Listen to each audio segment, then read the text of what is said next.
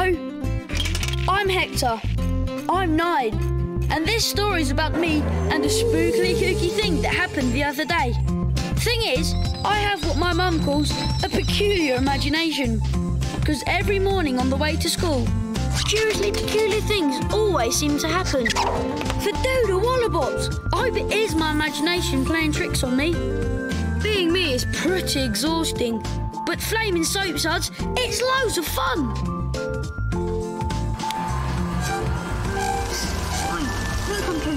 Roll the film. Take the time I dragged myself to school early one Friday morning. morning.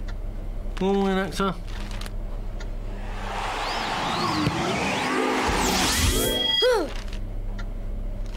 I wonder what I'll have for breakfast. Freaky frog's legs! Is that a witch's cat? Falling witch Hazel blocks thoroughfare. Dad, why aren't you at work? Diversion's en route, son. So I'm going in a little bit later today. Oh. Heck up in helicopters, I'm gonna be late!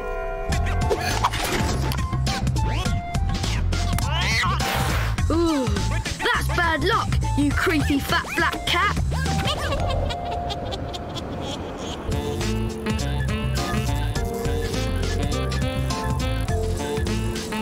Blazes does that mean?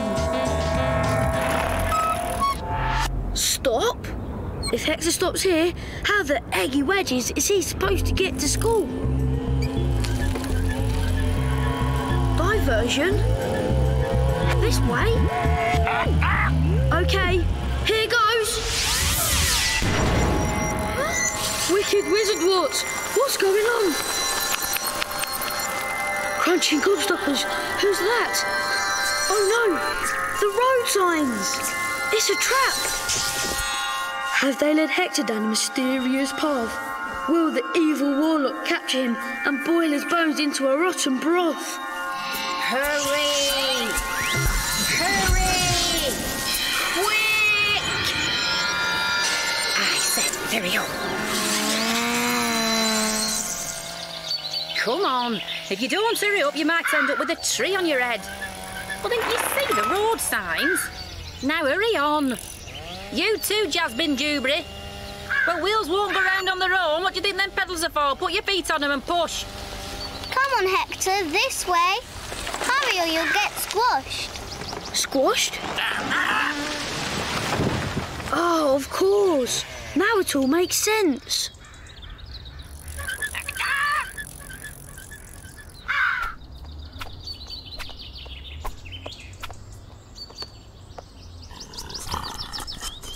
What's up?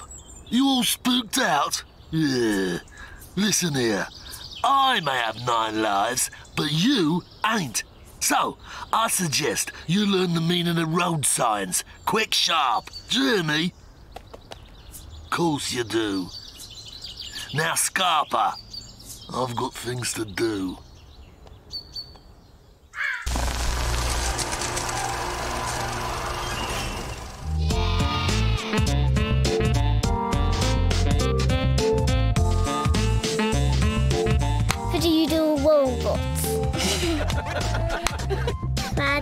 Robots.